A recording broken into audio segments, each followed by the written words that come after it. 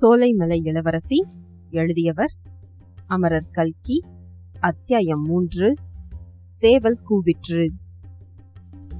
குமாரலிங்கம் சோலைமலையின் அடிவாரத்துக்கு வந்து சேர்ந்தபோது மலை மேலே ஒளிர்ந்து அவனை அவ்விடத்துக்கு கவர்ந்து இழுத்த முருகன் கோயிலின் அமர தீபம் பார்வைக்கு மறைந்துவிட்டது. அதற்கு பதிலாக கீழ் திசையில் உதித்து மேலே சிறிது தூரம் பிரயாணம் செய்து வந்திருந்த விடி வெள்ளியானது உதயக்கண்ணியின் நெற்றிச் சுட்டியில் பதித்த கோகிரூர் வைரத்தைப் போல் டால் வீசிற்று. அது மட்டுமல்லாமல் வானத்தை மறைத்திருந்த மேகத்திட்டுகள் விலகிவிட்டபடியால் ஆகாச வெளியெங்கும் கோடான கோடி வைரச்சுடர்கள் வாரி இறைத்தார் போன்று காட்சி தோன்றியது. கிழக்கு நன்றாய் வெளுத்து சுக்கிரனுடைய பிரகாசமும் மங்கத் தொடங்கிய சமயத்தில் குமாரலிங்கம் சோலைமலையை அடுத்திருந்த பாழடைந்த கோட்டையை அடைந்தான். களைப்பினால் அவனுடைய கால்கள் கெஞ்சின. தன்னை மீறி வந்த தூக்கத்தினால் கண்களும் தலையும் சுழன்றன. இனிமேல் சிறிது தூரம் நடக்க முடியாது. இந்த பாலடைந்த கோட்டைக்குள்ளே புகுந்து எங்கேயாவது ஓர் இடிந்த மண்டபத்தை பார்த்து படுத்துக் கொள்ள வேண்டியதுதான்.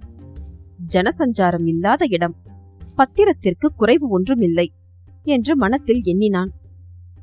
மதில் சுவர் இடிந்ததினால் ஏற்பட்டிருந்த வழி மூலமாக கோட்டைக்குள்ளே புகுந்து சென்றான். மிக வியப்பான எண்ணம் ஒன்று அப்போது அவன் மனத்திலே தோன்றிற்று. அந்த கோட்டைக்குள்ளே முன் எப்போதோ ஒரு சமயம் ஏறக்குறைய இதே மாதிரி சந்தர்ப்பத்தில் ஒளிந்து கொள்வதற்காக பிரவேசித்தது ஞாபகத்துக்கு வந்தது. எப்போது எதற்காக அவ்விதம் நிகழ்ந்தது என்பதெல்லாம் ஒன்றும் தெளிவாகவில்லை. மூன்று வருஷத்துக்கு முன்னால் அவன் இந்த மலை மேலுள்ள முருகன் கோயில் திருவிழாவுக்கு வந்திருந்த போது அந்த பாழடைந்த கோட்டையை மேலே இருந்து பார்த்தானே தவிர அதற்குள்ளே பிரவேசிக்கவில்லை. பின் எப்போது தான் அங்கே வந்திருக்கக்கூடும்? இது என்ன பைத்தியக்கார எண்ணம்? கோட்டைக்குள்ளே மேலும் போக போக அந்த எண்ணம் உறுதிப்பட்டு வந்தது. மேட்டிலும் பள்ளத்திலும் கல்லிலும் காரையிலும் அவன் ஏறி இறங்கி நடந்து சென்றபோது நிச்சயமாக இங்கே முன்னொரு தடவை நாம் வந்திருக்கிறோம். ஆனால் அச்சமயம் இந்த இடங்கள் எல்லாம் இவ்விதமாக இல்லை என்று தோன்றியது.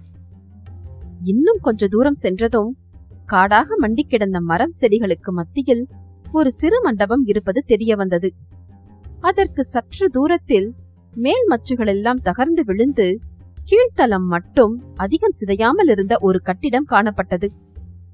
மேற்படி மண்டபமும் அதற்கு அப்பால் இருந்த கட்டிடமும் அவனுக்கு நன்றாய் பழக்கப்பட்டவையாக தோன்றின. எப்பொழுது எந்த முறையில் என்பது மட்டும் தெளிவாகவில்லை. தூக்க மயக்கத்தினால் நன்றாக யோசித்து ஞாபகப்படுத்திக் கொள்ள முடியவில்லை. எல்லாவற்றுக்கும் இந்த மண்டபத்தில் சிறிது நேரம் படுத்து உறங்கலாம். உறங்கி எழுந்த பிறகு மனத்தெளிவுடன் யோசிக்கலாம் என்று தீர்மானித்தான். அந்த தீர்மானத்தை நிறைவேற்றுவதற்காக மண்டபத்தின் விளிம்பில் ஓர் தூண் ஓரமாக உட்கார்ந்தான். கீழ்த்தளம் அவ்வளவு சுகமாக இல்லை. குண்டும் குழியும் கல்லும் கட்டியுமாகத்தான் இருந்தது. தலைக்கு வைத்துக் கொள்ளவும் ஒன்றுமில்லை. ஆனாலும் இனி ஒரு நிமிஷமும் தூக்கத்தை சமாளிக்க முடியாது. கையை மடித்து தலைக்கு வைத்துக் கொண்டு படுத்துக் கொள்ள வேண்டியதுதான் என்று குமாரலிங்கம் எண்ணினான். அப்போது எங்கேயோ பக்கத்தில் இருந்த கிராமத்திலிருந்து கொக்கரக்கோ என்ற சேவல் கூவும் சத்தம் கேட்டது. மூன்றாவது தடவை சேவல் கோழி கொக்கரக்கோ என்று கூவிய போது குமாரலிங்கத்தின் கண்ணெதிரே இந்திரஜாலமோ மகேந்திரஜாலமோ என்று சொல்லும்படியாக ஒரு பெரிய அதிசயம் நிகழ்ந்தது. அவன் உட்கார்ந்த மண்டபம் புத்தம் புதிய அழகான வசந்த மண்டபமாக மாறியது. மண்டபத்தை சுற்றியிருந்த காடு ஒரு நொடியில் மலர்கள் பூத்து குலுங்கிய செடிகளும் மரங்களும் உள்ள உத்தியானவனம் ஆயிற்று. அதற்கப்பால் இருந்த இடிந்த கட்டிடம் மூன்றடுக்கு மெத்தையுள்ள அழகிய வேலைப்பாடுகள் அமைந்த அரண்மனையாயிற்று. இன்னும் அதற்கப்பால் இருபுறங்களிலும் வேறு அழகிய கட்டிடங்கள் சுவர்களில் பூசிய முத்து சுண்ணாம்பினால் வைகரையின் மங்கிய வெளிச்சத்தில் தாவல்யமாக பிரகாசித்த கட்டடங்கள் காணப்பட்டன.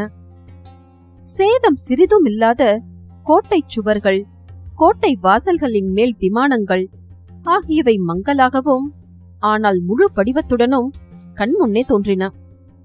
இந்த மாயாஜால மாறுதல் எல்லாம் சில வினாடி நேரத்துக்குள்ளேயே ஒன்றன் பின் ஒன்றாக நிகழ்ந்தது குமாரலிங்கத்தை திக்குமுக்காட செய்தன. அதே சமயத்தில் அரண்மனை ஆச்சார வாசலில் நாதஸ்வரம் வாசிக்கும் இனிய ஓசையும் கோட்டை வாசலில் நகரா முழங்கும் சத்தமும் கேட்டன.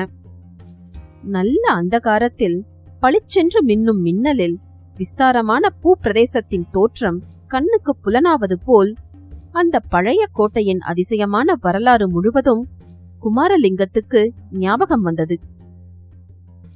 ஏறக்குறைய இதே மாதிரி சந்தர்ப்பத்தில் முன்னொரு தடவை இந்த கோட்டைக்குள்ளே தான் பிரவேசித்தது முற்றிலும் உண்மை.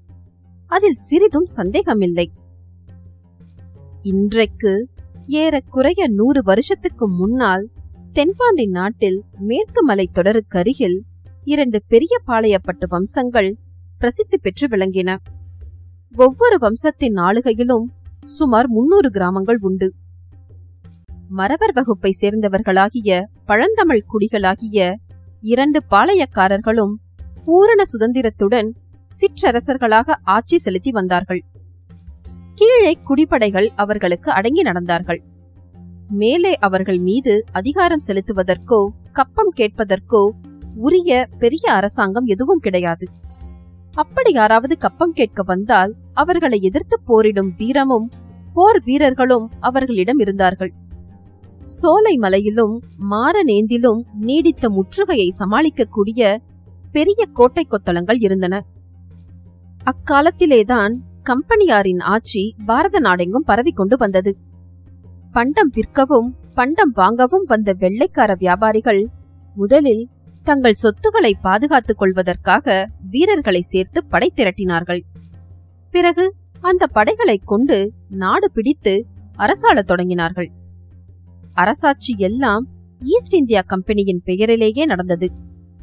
வியாபாரத்துக்காக வந்தவர்கள் அரசாங்கம் நடத்த தொடங்கினால் அதன் லட்சணம் எப்படி இருக்கும் என்று சொல்ல வேண்டியதில்லை. எந்தெந்த முறையில் பொருள் திரட்டலாமோ எவ்வளவு சீக்கிரத்தில் திரட்டலாமோ அதுதான் கம்பெனி அரசாங்கத்தின் முக்கிய நோக்கமாய் இருந்தது.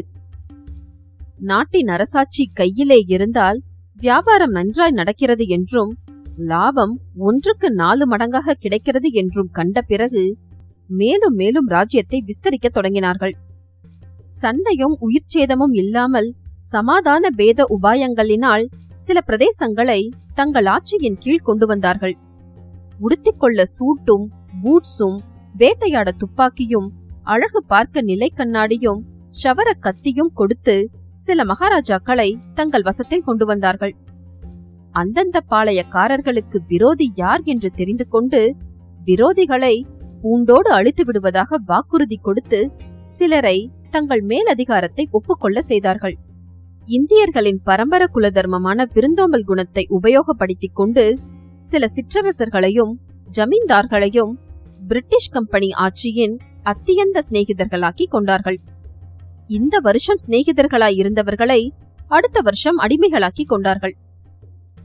இப்படியெல்லாம் நடந்து கொண்டிருந்த காலத்தில் சோலைமலை கோட்டையின் புராதன சிங்காதனத்தில் வீற்றிருந்து செங்கோல் செலுத்தி வந்த மகாராஜாதி ராஜா வீரராமலிங்க குலோத்துங்க ருத்ரதேவர் பிரிட்டிஷ் கம்பெனியாரின் அத்தியந்த சிநேகிதர் ஆனார் கப்பல் ஏறி கடல் கடந்து வியாபாரம் செய்ய வந்த வெள்ளைக்கார சாதியாரின் அதி அற்புதமான சாமர்த்தியங்களை பற்றி ஏற்கனவே சோலைமலை மகாராஜா ரொம்பவும் கேள்விப்பட்டிருந்தார்.